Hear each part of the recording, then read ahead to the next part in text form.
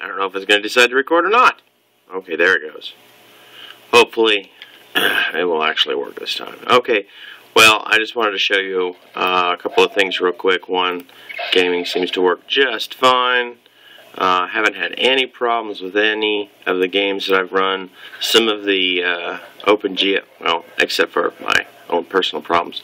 Um, some of the OpenGL games have a little bit of a stutter to them, but nothing uh, that is, is major detracting.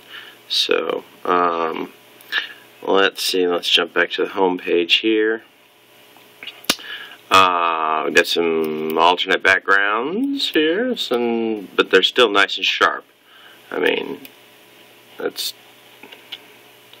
go to this one here. And you can see it's the the textures are very very sharp. Let me see if I can get it to, to actually focus. Textures are very sharp all the way across. There's really nothing that uh, uh, has any blurriness like uh, when we first started out.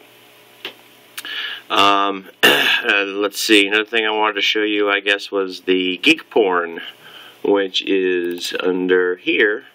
You can see that uh, my CPUs now are not just chattering away all the time. We we got the the sensor thing under control, so it's not uh, being loud and constantly bothering the CPUs, which is wonderful and makes everybody very very happy.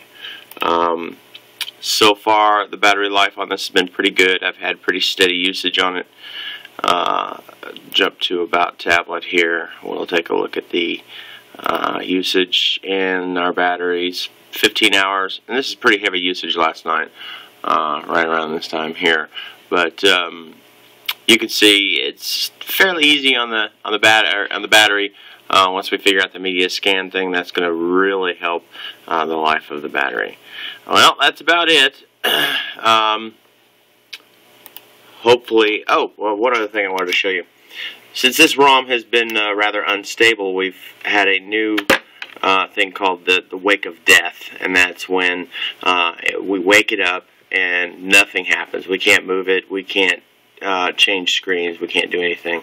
And what uh, what we've noticed is we've actually had to take the tablet and take the back off. In my case, what I did was I drilled a reset hole uh, in the back of it, so all I have to do is stick a, um, uh, wooden toothpick in there, hit that reset button that you can see right, kind of diagonal right there. That's the reset button.